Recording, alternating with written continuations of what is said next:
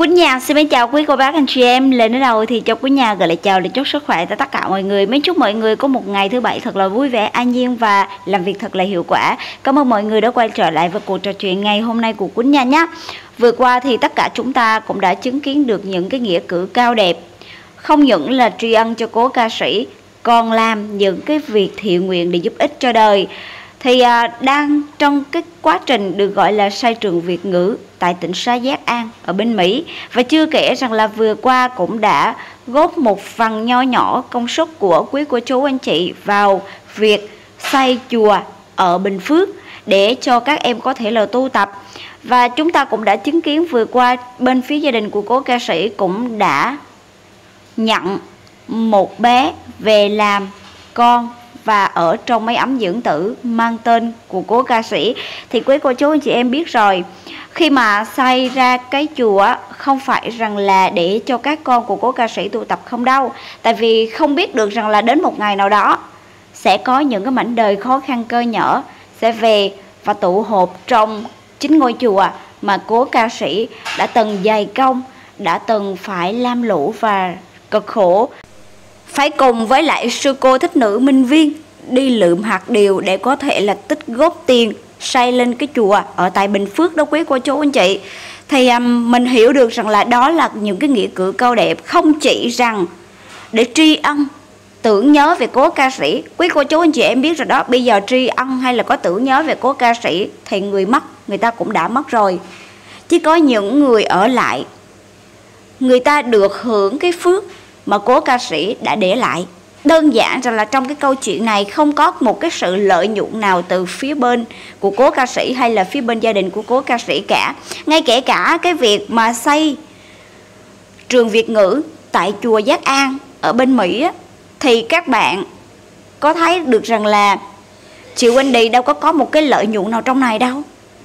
Chị ấy còn phải bỏ công sức có khi còn phải bỏ tiền của để có thể là tích một cái phần được gọi là công đức của mình, để xây nên cái ngôi trường tại bên đó đó quý cô chú anh chị.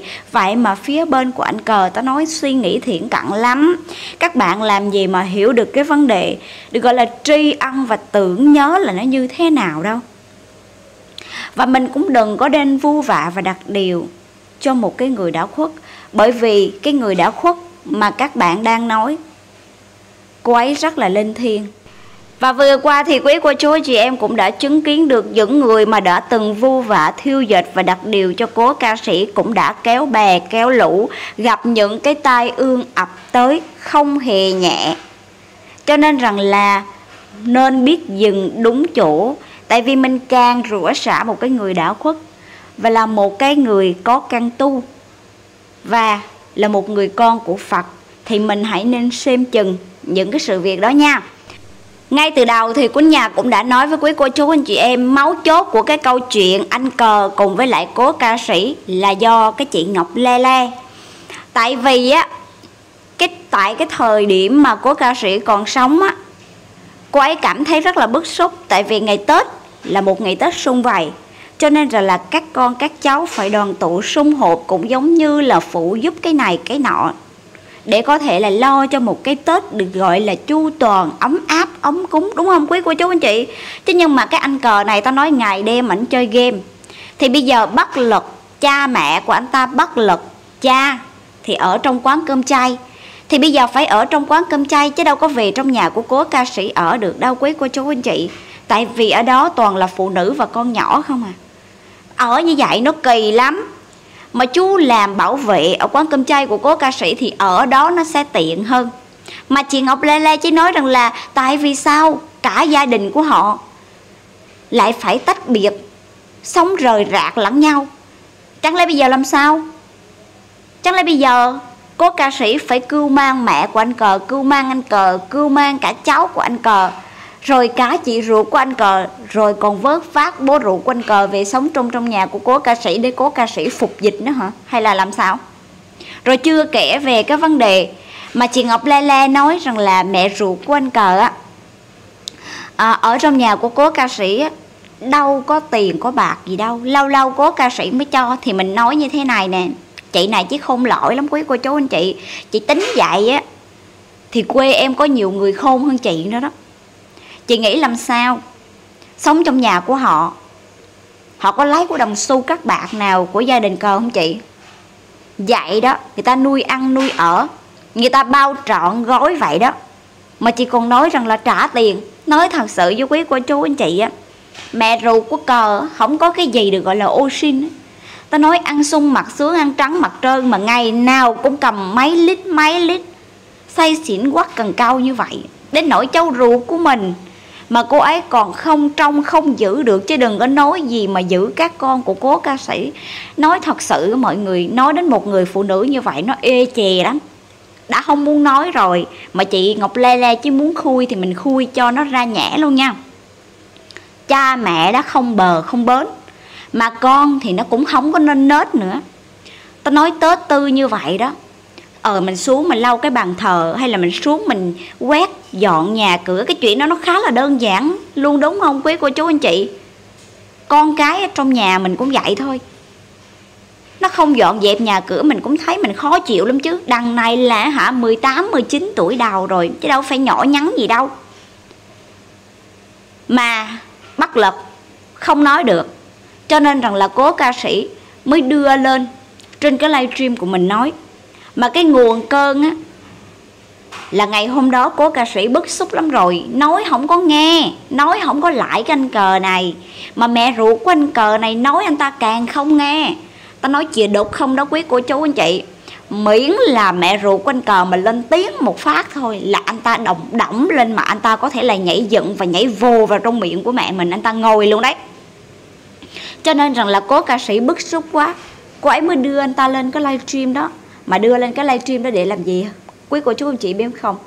Để cho bộ cần cần của anh cờ đừng có thiêu dệt và bịa chuyện, cũng đừng có dụ dỗ anh cờ này nghe theo những cái điều của họ. Tại vì trước đó là chị Ngọc Lê Lê cùng với lại anh cờ này đã từng âm thầm ngấm ngầm, nhắn tin qua lại để thể hiện rằng là cái tôi của mình nó cao quá. Ở nhà cũng là ngôi sao ngôi sao ca nhọt. Nha, không quý cô chú, anh chị? Cho nên rằng là anh ta không có vừa vặn gì đâu. Đó đến ngay kể cả cố ca sĩ kia nè, mà anh ta còn lớn tiếng, còn xúc phạm cố ca sĩ nữa đó.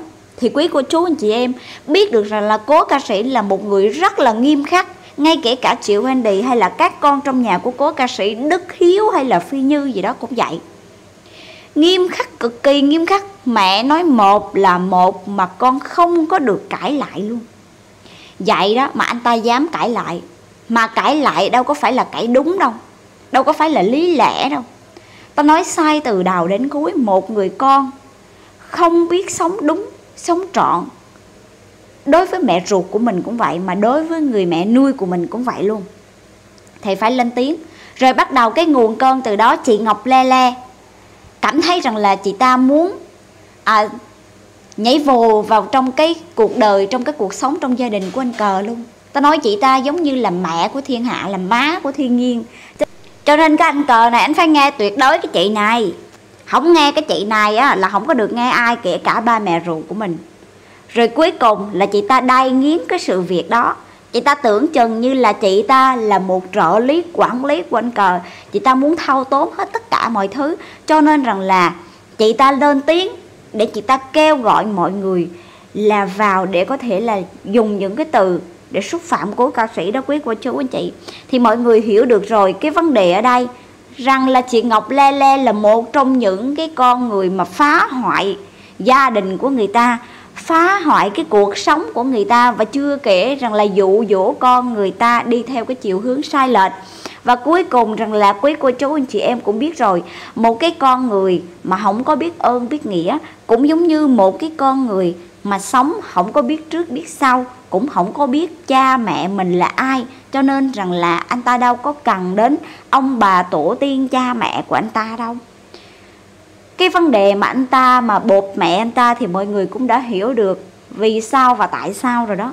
Là vì cái chị Ngọc Lê Lê này nè, chứ dẫn đường, dẫn lối cho cái anh cờ này, trở thành một người con bất hiếu trở thành một cái người con mà ta nói rằng là ở nhà cũng là ngôi sao ca nhọt ở ngoài đường cũng là ngôi sao ca nhọt mà ở ngoài đường đâu có dám hó hé với ai đâu, nói giống như là khép nép lắm vậy đó. Còn về với nhà thì ta nói thụi cha thụi mẹ mình tưới bụi đó bởi vậy cái lẽ đó, nhìn cho nên rằng là cố ca sĩ đã từng nói, anh ta không thể nào mà trở thành một con người tốt. Và cho dù ai có cưu mang và vớt vát anh ta đi chăng nữa, anh ta cũng sẽ phản chủ. Và vừa qua đó, quý cô chú, anh chị em thấy rồi, chú bầu chú đưa cái tên kênh youtuber của chú thành cái kênh youtuber quanh cờ. Ta nói người ta hù hởi dữ dội lắm, mà đâu có biết được rằng là chuyển tên kênh thôi mà có gì đâu các bạn. Chuyển tên kênh để các bạn có thể là làm cho anh cờ này làm cho chú bầu chứ. Làm cho chú bầu có được à, một cái kênh youtuber vẫn mạnh hơn đó. Còn cái việc ai là người chủ trong cái kênh youtuber này thì quý cô chú anh chị em còn lâu mới biết. Chỉ có chú bầu mới là cái người hiểu rõ thôi. Cho nên rằng là tên kênh nó không hề là có cái giá trị ngay tại thời điểm hiện tại bây giờ nha. Ok cái đoạn video này của Quýnh Nhà thì xin kết thúc tại đây. Mến chúc mọi người luôn giàu giàu sức khỏe, bình an và vạn sự như ý. Và nếu thích cái đoạn video này của Quýnh Nhà thì các bạn có thể like, share, subscribe để ủng hộ cho cái kênh của Quýnh Nhà Mến chào mọi người và hẹn gặp lại mọi người ạ.